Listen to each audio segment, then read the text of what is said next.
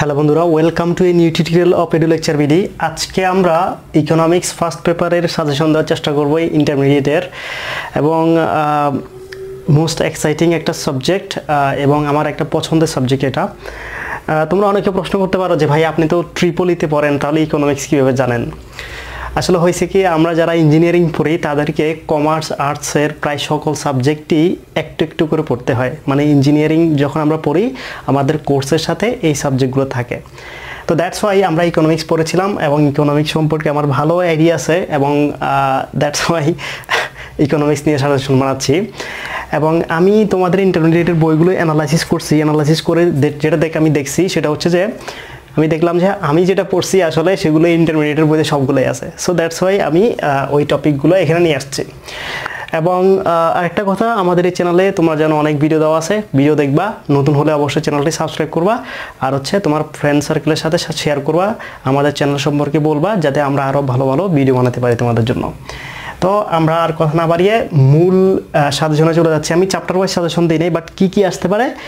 Just একদম মানে top যেগুলো থেকে প্রশ্ন আসবেই, ঠিক আছে? ওই টপিকগুলো নিয়ে আসছি এবং আশা করি এখান থেকে তোমরা ক্রিয়েটিভ কোশ্চেন কমন পেয়ে যাবা, ঠিক আছে? সো দ্যাটস ওয়াই আমরা ভিডিওতে চলে যাচ্ছি। আমাদের প্রথম এখানে কোনো ইয়ে নেই মানে সবগুলো ইম্পর্টেন্ট একদম সবগুলা। টপ যেগুলো, সেগুলোকে আমি নিয়ে এসেছি। উৎপাদন সম্ভাবনা রেখা চিত্রের সাহায্যে ব্যাখ্যা করো।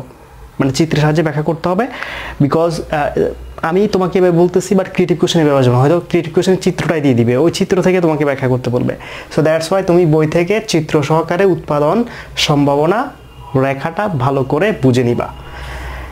তারপরে যেটা আসবে, সুযোগ ব্যয় বলতে কি বুঝো বা সুযোগ ব্যয় কি? এটাও আসতে পারে কখতে অ্যান্ড সুযোগ ব্যয় লেখচিত্রের সাহায্যে ব্যাখ্যা। এটা তোমাকে জানতে হবে বিকজ এটাও ঠিক একইভাবে। আমি যেভাবে বলছি যে উদ্দীপকে লেখচিত্র দিয়ে দিতে পারে বা চিত্রটা দিয়ে দিতে পারে ফিগারটা দিয়ে দিতে পারে, সেখান থেকে তোমাকে ব্যাখ্যা করতে বলতে পারে। সো তোমাকে ফিগারটাও অ্যানালাইসিস করা জানতে হবে। তারপর হচ্ছে অর্থনৈতিক সমস্যা এবং তার সমাধান। মোস্ট ইম্পর্টেন্ট প্রশ্ন, এটা আমরা যখন কোর্স করেছিলাম, আমাদের ইকোনমিক্স কোর্সটা তখন স্যার এই প্রশ্নটা বারবার জিজ্ঞেস করতো। ফলাফানটা দাঁড় করা দাঁড় করা জিজ্ঞেস করতো এবং আনসারটা স্যার নিত বিকজ এটা স্যার পরীক্ষা দিবে মেবি এই জন্য বাট এবং স্যার এটা পরীক্ষা দিয়েছিলেন। সেটা হচ্ছে অর্থনৈতিক সমস্যা এবং তার সমাধান। তো তারপরে যেটা, সেটা হচ্ছে যে গণতান্ত্রিক অর্থব্যবস্থা। এই গণতান্ত্রিক অর্থব্যবস্থার কি বৈশিষ্ট্য? সুবিধা, অসুবিধা? এবং তুমি এটাকে সাপোর্ট করো কিনা? এটা উচ্চতর দক্ষতা জিজ্ঞেস করতে পারে যে তুমি কোনটা সাপোর্ট করো? গণতান্ত্রিক অর্থব্যবস্থা নাকি মিশ্র অর্থব্যবস্থা কোনটা সাপোর্ট করো? এটা উদ্দীপকের উচ্চতর দক্ষ উদ্দীপক থেকে দিবে। আর উদ্দীপকে দেওয়ার পরে উচ্চতর দক্ষতা জিজ্ঞেস করতে পারে। অ্যান্ড অবশ্যই মিশ্র অর্থব্যবস্থার বৈশিষ্ট্য, সুবিধা, অসুবিধা। তারপর হচ্ছে চাহিদা এবং যোগান, এই দুটো অপরের সাথে খুবই খুবই ক্লোজ ফ্রেন্ড রিলেটেড তোমরা জানো। অ্যান্ড চাহিদা যোগান থেকেও তোমাদেরকে কোশ্চেন করা হতে পারে, উদ্দীপক দিয়ে দিবে উদ্দীপক থেকে। অ্যান্ড এটা তোমাকে চিত্র বা রেখা বা লেখচিত্র সহকারে অবশ্যই শিখতে হবে। তারপর হচ্ছে যে ভারসাম্য, চাহিদা, যোগান এগুলোর সাথে যে রিলেশন যেমন দাম এবং পরিমাণ নির্ধারণে কিন্তু তোমরা জানো যে ভারসাম্য যে জিনিসটা, সেটা কিন্তু চাহিদা এবং যোগানের বেসিসে তৈরি হয়, ঠিক আছে? সো যেই জিনিস তোমাদেরকে এটা একটু ভালো করে জানতে হবে বিকজ এটা উচ্চতর দক্ষতা দিতে পারে। অ্যান্ড যেটা পরবর্তীতে আসতেছে সেটা হচ্ছে উৎপাদন। উৎপাদনের উপকরণ কি কি? উপকরণগুলো সম্পর্কে আলোচনা। ক্রমহ্রাসমান প্রান্তিক উৎপাদন।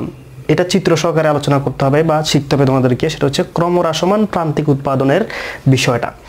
আমি যেগুলো বলতেছি এগুলো মূলত সিকিউ তোমাদের প্রয়োগ এবং উচ্চ দক্ষতার জন্য বলতেছি বাট এগুলো ক এবং খতে অর্থাৎ জ্ঞানমূলক এবং আহ, অনুধানমূলক প্রশ্নেও আসতে পারে। তারপরে যেটা সেটা হচ্ছে একচেটিয়া বাজার সম্পর্কে তোমাকে জানতে হবে এবং একচেটিয়া বাজারে কীভাবে দাম এবং পণ্যের পরিমাণ নির্ধারিত হয় সেটাও তোমাদেরকে জানতে হবে। তারপর হচ্ছে উদ্যোক্তা সংগঠন উদ্যোক্তা কীভাবে হওয়া যাবে উদ্যোক্তার কাজ কি কি কি তাকে ঝুঁকি নিতে হয় সেই জিনিসগুলো এবং সংগঠনের কাজ কি তারপরে হচ্ছে বা ভূমিকা সংগঠনের এই কথা বলতে পারো, বা উদ্যোক্তার ভূমিকা বা কাজ, সংগঠনের ভূমিকা বা কাজ, এই জিনিসগুলো। তারপর হচ্ছে যৌথ মূলধনী কারবার কি বলতে কি বুঝো? তারপর হচ্ছে এটা কীভাবে হয়? তারপর এটা সুবিধা কি, অসুবিধা কি? তুমি এটাকে সিলেক্ট করবা কিনা? তুমি যৌথ মূলধনী যে কারবার সেখানে যাবে কিনা? এই ধরনের কোশ্চেন তোমাকে জিজ্ঞেস করতে পারে। তারপর হচ্ছে ফার্ম কি, শিল্প কি, এগুলোর মধ্যে তুলনামূলক চিত্র আলোচনা করা। গড় আয় কি, প্রান্তিক আয় কি, এগুলো সম্পর্কে তুলনামূলক আলোচনা করা। স্থিতিস্থাপক ও অস্থিতিস্থাপক চাহিদা সম্পর্কে তুলনামূলক আলোচনা করা। শ্রম দক্ষতা ও তার নির্ভরশীলতা, এটা ক্রিয়েটিভ কোশ্চেনেও আসতে পারে। তারপর হচ্ছে দুষ্প্রাপ্যতা ও নির্বাচন, ঠিক আছে? যে আমরা জানি যে অনেক সময় কোনো একটা, কোনো কোনো বস্তু দুষ্প্রাপ্য হয়ে যায় মানে পাওয়া যায় না। তখন আমরা কি করি? অল্টারনেটিভ কিছু একটা নির্বাচিত করি বা অল্টারনেটিভ কিছু একটা আমরা মার্কেট থেকে নিয়ে আসি। তো সেই জিনিসগুলো এখানে আসতে পারে।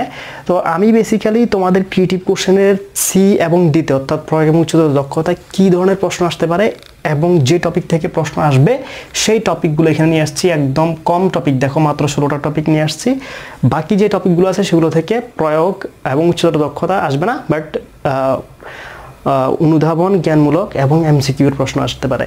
সো তোমরা ওই টপিকগুলো বিশেষ করে এমসিকিউ জ্ঞানমূলক এবং অনুধাবনমূলক প্রশ্নের জন্য পড়বা বাট এই টপিকগুলো খাতায় কষ্ট করে লিখে রাখো এবং আসবে পরীক্ষায় ধরে রাখো, ধরে এগুলো এখন থেকে খেয়ে ফেলা আরম্ভ করো। মানে বুঝে বুঝে খেবা খাবা, এমনি নর্মালি খাওয়া দরকার নাই। তো আশা করি এই ভিডিওটা তোমাদের অত্যন্ত উপকারে আসবে। তোমরা যারা আসলে আমাকে নাকি আমার ভিডিওতে কমেন্ট করে যে, ভাই, আপনার সায়েন্সের শুধুমাত্র ভিডিও দেন আর্টস কমার্সের জন্য ভিডিও দেন না। তোমাদের জন্য শুভ খবর দিয়ে রাখি, আমি আমরা যখন ইঞ্জিনিয়ারিং পড়ছি ফার্স্ট ইয়ার সেকেন্ড ইয়ার এ আমরা কমার্স আর্টসের সকল সাবজেক্টের ইনশাল্লাহ কোর্স করেছি। অ্যাকাউন্টিংয়ের কোর্স করেছি ম্যানেজমেন্ট তারপর হচ্ছে মার্কেটিং ইকোনমিক্স ইংলিশ বাংলা সকল সাবজেক্ট ল সব সাবজেক্টের মোটামুটি আমরা কোর্স করছি, আমাদের সিলেবাস এগুলো আছে। সো আমরা মোটামুটি একদম ইন্টারমিডিয়েট পর্যন্ত যতটুকু দরকার ততটুকু জানি অ্যাকাউন্টিংও পারি। সো আমি আশা চেষ্টা করব তোমাদের জন্য ভিডিও বানানোর। অ্যান্ড আশা করি তোমরা সবাই সেগুলো দেখবা। তো নেক্সট আমরা অন্য একটা ইয়ে নিয়ে আসব। সাজেশন নিয়ে আসব, সেই পর্যন্ত তোমরা ভালো থাকো। অ্যান্ড আবারও বলতেছি, আমাদের চ্যানেলে সাবস্ক্রাইব করবা। আর একটা কথা সেটা হচ্ছে যে, আমাদের কিন্তু ফেসবুকে একটা গ্রুপ আছে এবং পেজ আছে। তোমরা সেখানে বিভিন্ন কমেন্ট করতে পারো বা সেখানে বিভিন্ন তথ্য পাবা। আমরা আপডেট দিব সেখানে। আমাদের ফেসবুক পেজের নাম হচ্ছে Edu lecture BD Edu lecture BD and আমাদের ফেসবুক গ্রুপের নামও Edu lecture BD Edu lecture BD দিয়ে সার্চ দিলেই চলে আসবে। ঠিক আছে? বাংলা লেখো, ইংরেজিতে লেখো ফেসবুকে গিয়ে চলে আসবে। সো আর কথা বাড়াবো না, তোমরা ফেসবুকে আমাদের সাথে জয়েন হয়ে নিবা এবং ইয়েতো আছে হোয়াটস সরি আমাদের ইনস্টাগ্রামও আছে টুইটারও আছে। সব জায়গায় কিন্তু এডু লেকচার বিডি লিখে দিলে সার্চ দিলে চলে আসবে। তো আজকে চলে যাচ্ছি, আল্লাহ হাফেজ, টাটা।